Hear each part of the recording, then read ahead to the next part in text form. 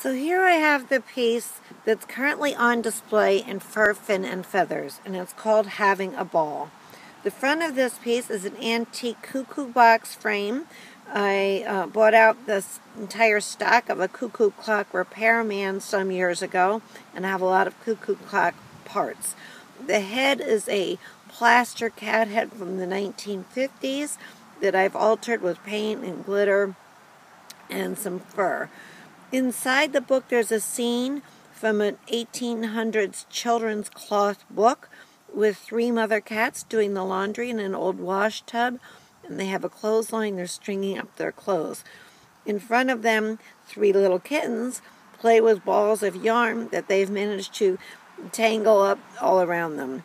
And a tiny little bird watches from above. Um, the sides and back of this box are also covered with scenes from the children's book. Um, so that's all there. This is the piece, having a ball. We are going to learn how to do, how to build a diorama of your own. I stayed in a similar format with similar materials so you could get an idea um, how this one was made. So let's take a look at that. Hi, I'm Joan Wheeler, and this is my dog Rusty. We're standing outside the studio, getting ready to go to work on a new piece. Today I'm going to be making a cat diorama, and I'm going to show you step-by-step directions how to make one. So to start out with, you'll need the frame that you've decided works best for your piece, a saw, some wood, tape measure, and a pencil.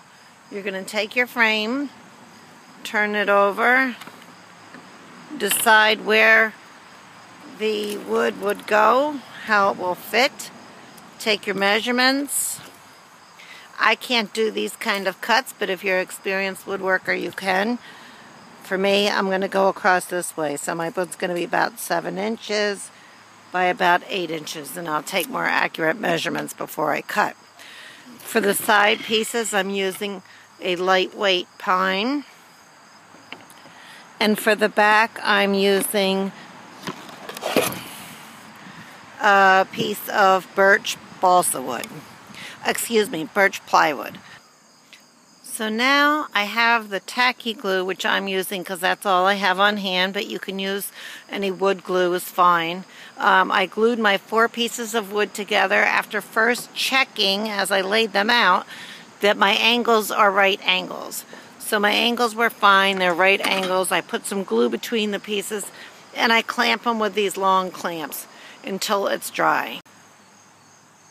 So now I have my finished box and I want an image to go inside it.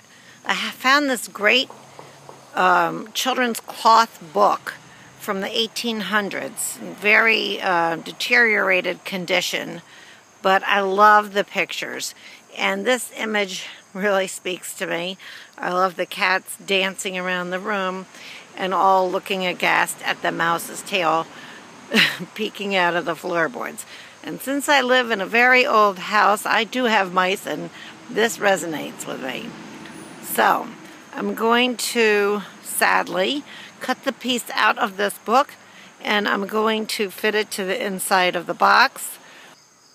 So, getting the picture to fit proved a little tricky. First, I cut a paper pattern to fit inside the box. Then I noticed that when I cut the fabric, I saw some fraying edges in the on the fabric. So I decided that I would mount the picture on a piece of foam core that I had uh, lying around. So I cut the foam core a little smaller than my pattern because my pattern fit exactly and I wanted to make sure that I had enough room for the fabric to fit into the box when it was covered. So I used um, Elmer's spray adhesive. I did try the tacky glue on some sample scraps and, and this glue. I decided the tacky glue was too thick for me to work with easily. I glued the panel, the foam core panel with the picture in the box. For that I used tacky glue. Never put it in with spray adhesive because little bits of spray adhesive will go all over the walls and it'll stay tacky and rough. So now my next step is going to be to paint the inside to um, flesh out the scene in the background. And for that, I could use acrylic paints or oil paints. Craft paint, if, you, if that's what you have on hand, is fine too. It doesn't really matter. So I've painted the inside and used some watercolor pencil to add detail so it retains the look of an old barn around the sides.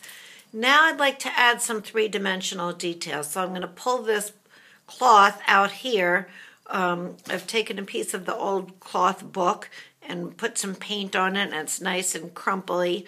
I'm going to use that as uh, an extension for the cloth. And I have taken some red and yellow and mud colored Sculpey and I'm going to mix them together to make some more of this fruit. So that's what I'm going to do and I'm going to put a little gray Sculpey mouse to go underneath the sheet. So I've added the three-dimensional details to the inside. The cloth, the Sculpey fruits, and the little mouse with his long tail sticking out of the box. So next, I have the inside finished, and I painted the outside this color, but it's kind of boring. So I think what we're going to do is to take the book and take some of the beautiful old written pages and turn them into paper wallpaper. So I'm going to wallpaper the outside of it with sections of the story. So I'll cover the outside sides and I also like to do the back just to add a nice touch to it. I've glued the papers onto the outside of the box and now I'm ready to think about the front of the box. So I'm going to put the frame on I'm going to glue that on and it's looking great except for the fact that there's this empty hole right here. So I happen to have one more cap head and it fills the space nicely so there's nothing, um, no hole showing. But before I put this in I'm going to do some special things to it. It's a little too shiny for my taste and I'd like to change the color up a bit and maybe put some fur and some glitter and just dress it up. So the title of this finished piece is going to be Hiding in Plain Sight. I added the uh, superfine glitter to the ruff of the kitty cat and put pink velvety flocking on his nose, painted the inside of his ears, dyed some feathers in coffee and tea, and glued them to give him a little bit of a furry look. Then I took some black and white Sculpey and created some mice with bead eyes. Um, the mice now are crawling around the box in different positions, peeking in. And I decided I wasn't quite finished. I added some green superfine glitter to the um, crevices of the leaves. And I decided I wanted some inside out action. So where the mice are looking down at the tail going through the floor, I added a hole in the box I drilled through. And there's a tiny little mouse peeking through the hole. And over here on the back, you see his tail hanging off the edge. Then I added some hangers to the back. I use this D-type, D-ring type of hanger with a little wire on it so it's easier to hang. And now we have the completed box hiding in plain sight.